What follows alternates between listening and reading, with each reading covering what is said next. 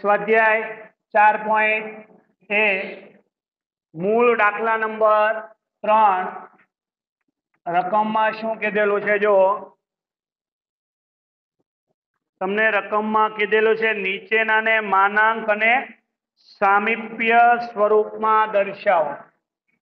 માનાંક અને સામીપ્ય સ્વરૂપમાં દર્શાવો. તો વિદ્યાર્થી મિત્રો, તમને સમજ પડવી જોઈએ. માનાંક અને સામીપ્ય છે તો કયું આપ્યું હોય? અંતરાલ આપ્યો. ધ્યાનથી જોજો આમાં. પહેલો દાખલો. બોલો, ત્રણ પોઈન્ટ આઠ less than X less than આની અંતરાલ સ્વરૂપ જ કહેવાય. અને બીજી રીતે ત્રણ પોઈન્ટ આઠ. આ યાદ રાખજો, અલ્પવિરામ ચાર પોઈન્ટ આઠ આને અંતરાલ સ્વરૂપ જ કહેવાય. છેલ્લા દાખલા જો, તમે અંતરાલના જવાબ લાવ્યા. એમાં આ રીતનું આવતું અંતરાલમાં બધા ભૂલી કરે છે. આને એ કે છે અને આને ડેલ્ટા કે છે, ખોટું. આ કઈ રીતે ત્રણ પોઈન્ટ આઠ આવ્યો હોય, યાદ છે? એ માઇનસ ડેલ્ટા હોય. આ શું હોય એ માઇનસ ડેલ્ટા અને આ શું હોય એ પ્લસ ડેલ્ટા. એટલે આમાંથી કોઈ એ નથી અને કોઈ ડેલ્ટા નથી. આ યાદ રાખજો. તો બે સમીકરણ મળે. કેટલા? બે. પહેલું સમીકરણ આવું લખાય. આ યાદ રાખજો. એ માઇનસ ડેલ્ટા બરાબર ત્રણ પોઈન્ટ આઠ. આવું થાય. બીજું શું મળે? એ પ્લસ ડેલ્ટા બરાબર ચાર પોઈન્ટ આ રીતે મળે. પહેલો દાખલો છે એટલે લખું છું. સમીકરણ નંબર એક, સમીકરણ નંબર બે. હવે લોપની રીત આવશે એમાં દર વખતે કઈ રીત? લોપની ને લોપની રીતમાં યાદ રાખવાનું. જો આ એ બે પ્લસ છે. આ કેવો? આ કેવો? એટલે દર વખતે ડેલ્ટા કેન્સલ થાય. પણ હવે લખાય હું તો કે સમીકરણ એક અને બે નો સરવાળો કરતા એવું લખાય. એક માઇનસ હોય, એક પ્લસ હોય, એટલે સરવાળો જ કરવાનો. એટલે કેન્સલ થઈ જાય. પણ બે માઇનસ હોય, કે બે પ્લસ હોય તો શું કરવી પડે? બાદ બાકી કરવી પડે. તો નિશાન ફેરવવું પડે.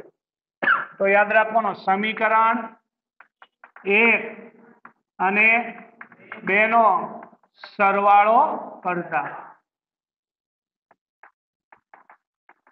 ચલો, સરવાળો કરો એટલે પહેલા લખાય. એ માઇનસ ડેલ્ટા બરાબર ત્રણ પોઈન્ટ આઠ. પ્લસ એ પ્લસ ડેલ્ટા બરાબર ચાર પોઈન્ટ આઠ. હવે તમને ખબર છે, બાર પ્લસ હોય તો અંદર કોઈ ફેરફાર થાય નહીં. ચલો plus delta minus delta cancel થઈ જાય. સમજાણો? એ વત્તા એ એટલે ટુ એ યાદ રાખજો. એ વત્તા એ એટલે ટુ દર વખતે બે જ આવશે આ દાખલામાં. ચાલો શું કરવાનો છે? કેવા? પ્લસ કેવા? ચાલો બે નો સરવાળો. સાત. આઠ પોઈન્ટ છ. એની સાથે કોણ? ગુણાકારમાં. સામે જઈ તો ભાગાકાર. માટે એ બરાબર ચાર પોઈન્ટ. આ પહેલી કિંમત મળી કોની? એની. આ યાદ રાખજો. હવે આ કિંમત સમીકરણ એકમાં અથવા સમીકરણ બે માં મૂકવાની. જેમાં તમને સારું લાગે એમાં લખાય, સમીકરણ એકમાં એ બરાબર ચાર પોઈન્ટ ત્રણ મૂકતા. ચાલો, સમીકરણ એક બોલો. A minus delta. કોઈ કે મારે સમીકરણ બે માં મૂકવી છે તો બે માં મૂકવાની. બંનેમાં જવાબ કેવો આવે? સરખો આવે. ચાલો, એ એટલે ચાર પોઈન્ટ ત્રણ. માઇનસ ના ડેલ્ટા ના બરાબર ત્રણ પોઈન્ટ કોની કિંમત જોઈએ આપણે? જેની કિંમત જોઈ ની પદ પ્લસ હોવું જોઈએ. છે? ના. તો એને પ્લસમાં લઈ જવા માટે શું કરવું પડે? સામેની બાજુ. તો સામેની બાજુ છે, આ બાજુ આવે તો માઇનસ તો ચાર પોઈન્ટ ત્રણ માઇનસ ત્રણ પોઈન્ટ આઠ બરાબર ડેલ્ટા. માટે ડેલ્ટા બરાબર ઝીરો પોઈન્ટ પાંચ. ચાલો, હવે આ બે કિંમત મળી, સમજાણું? હવે તમારો દાખલો અહીંથી શરૂ થાય. એટલે યાદ રાખજો, સામીપ્ય આપ્યો હોય કે માનાંક, તરત મળી જશે. પણ અંતરાલ આપ્યો હોય એટલે પહેલા લૂપની રીત કરીને તમારા મેળવવું પડે. ચાલો, હવે આના પરથી પહેલું શું મેળવવાનું? માનાંક. તો બોલો, સૂત્ર આવડે. માનાંક સ્વરૂપ. માનાંકમાં ચલો, માનાંકમાં એક્સ ખબર નથી. માઇનસ ના માઇનસ એ ચાર લેસ દેન ઝીરો દાખલો શું થઈ ગયો. ખાલી આ જ અગત્યનું છે. ચાલો, બીજું. કયું? સામીપ્ય સ્વરૂપ. સામીપ્ય એટલે બરાબર કેપિટલ? નાના કાઉન્સમાં એ અલ્પવિરામ ડેલ્ટા. કેપિટલ એ કેટલો? અલ્પવિરામ ડેલ્ટા. દાખલો થઈ ગયો. એટલે મેન આ ગણતરી તમને આવડવી જોઈએ. ચાલો બીજો દાખલો એમાં. બોલો, શું કીધું? એક પોઈન્ટ પંચાણું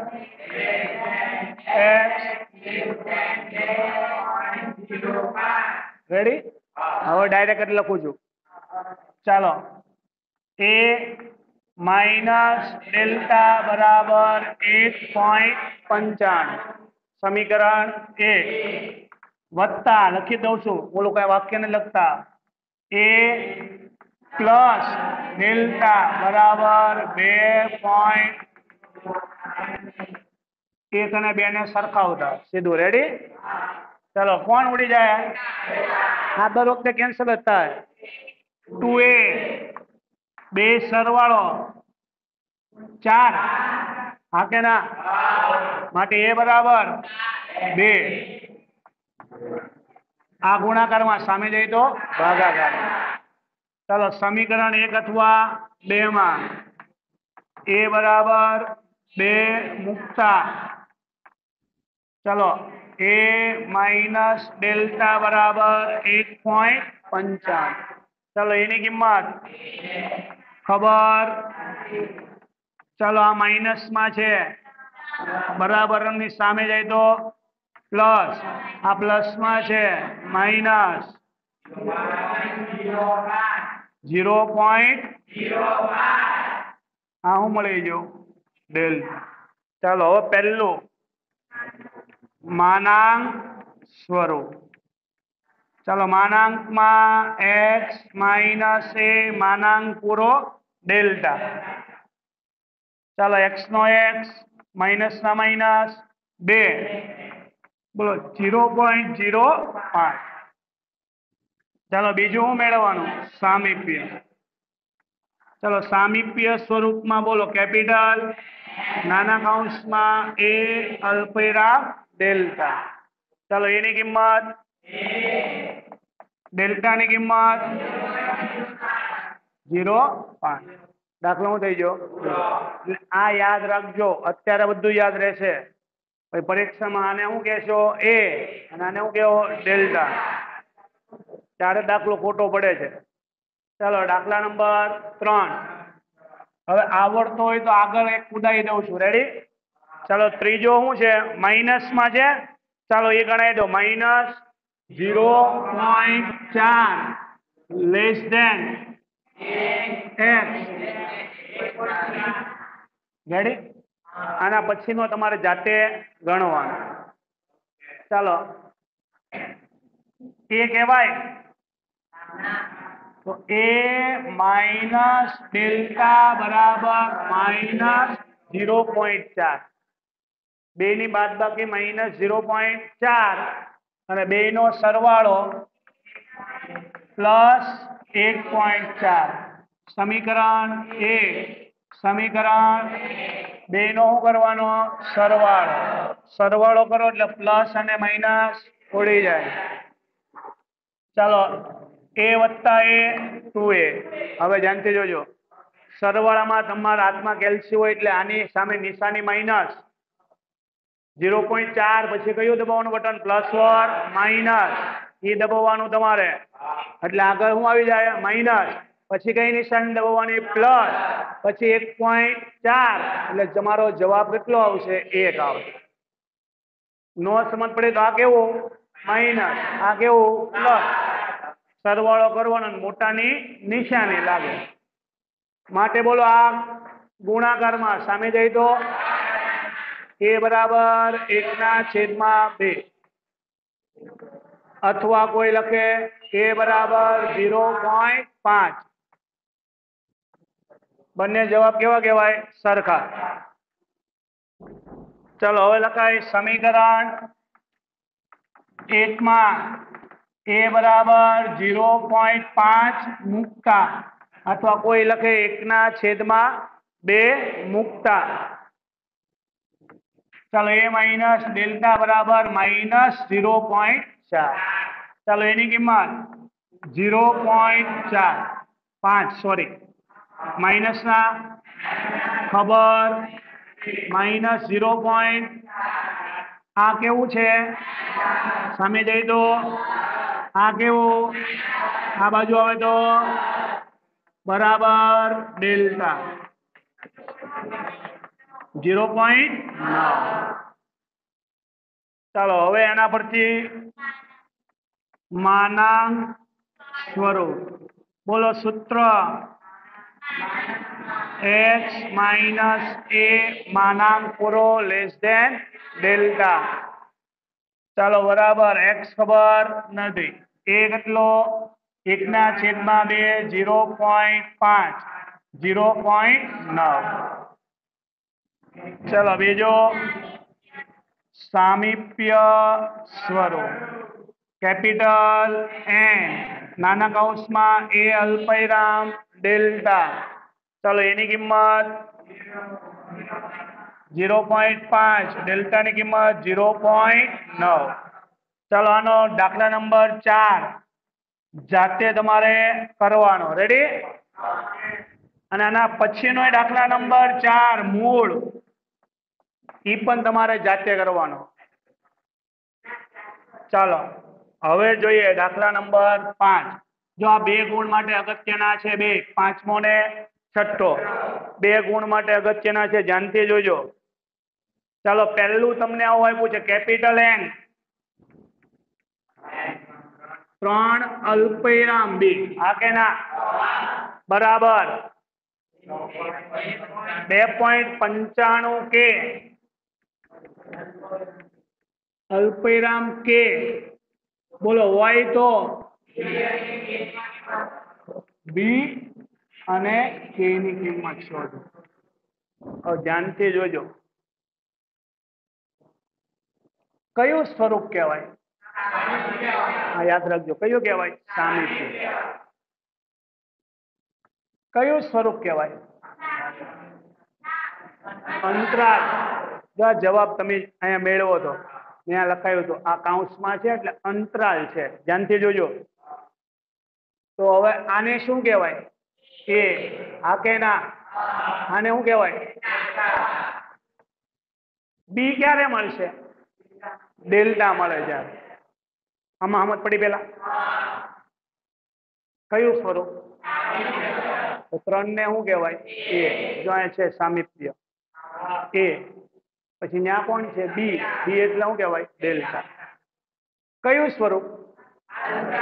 આ યાદ રાખજો. આમાં અંતર સ્વરૂપ હોય એટલે આને કહેવાય એ માઇનસ ડેલ્ટા બરાબર બે પોઈન્ટ. હા કે ના?